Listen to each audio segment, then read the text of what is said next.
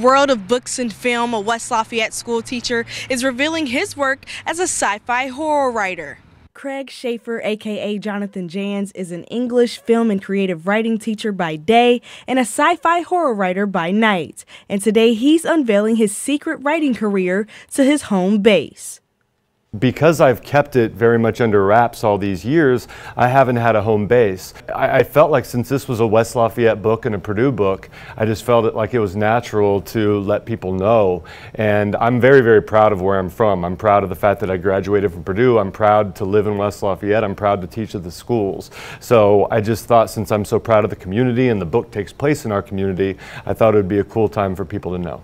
Being a teacher for 28 years and 22 years at West Lafayette, Schaeffer kept his writing career a secret out of fear of what others would think. At the beginning, I worried about how people would react to the fact that I'm a writer. And also, people have a tendency to conflate the art with the artist sometimes. Um, and so that, that scared me a little bit. But Schaeffer has learned that a lot of his students are fond of Jonathan Janz. A lot of them know my pen name, and I, I, think that honestly they, they like the fact that their teacher writes. So when I tell them to write, they know that I do it too. From the classroom to the conventions and Schaeffer to Janz, there is only one thing that grounds him the one thing that unifies all those things is my family, and that sounds super cheesy, but like the, I'm, I'm, a, I'm a husband and a dad all the time. Uh, but during the day, I'm a teacher, and then at night, and then on the weekends, I'm a writer. Understanding his unprecedented journey with another novel releasing September of 2025, Schaeffer is taking it all in. When I go to conventions and online, I, am known as Jonathan Janz. When I'm basically Craig Schaeffer doesn't exist online, and he doesn't exist outside of this town.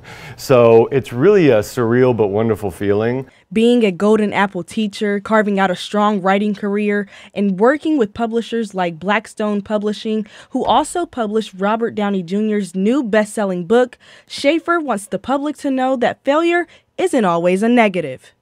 That um, persistence is the most important trait you can possess. I used to have this wrong-headed notion that failure was something to be ashamed of. Failure means that you've that you've pursued. Failure failure means that, that you've attempted something. And looking ahead, Janz also has some more exciting projects in the works, but for now his top priority is the novel that is coming out next year. Reporting in West Lafayette, Hadassah Harris, News 18.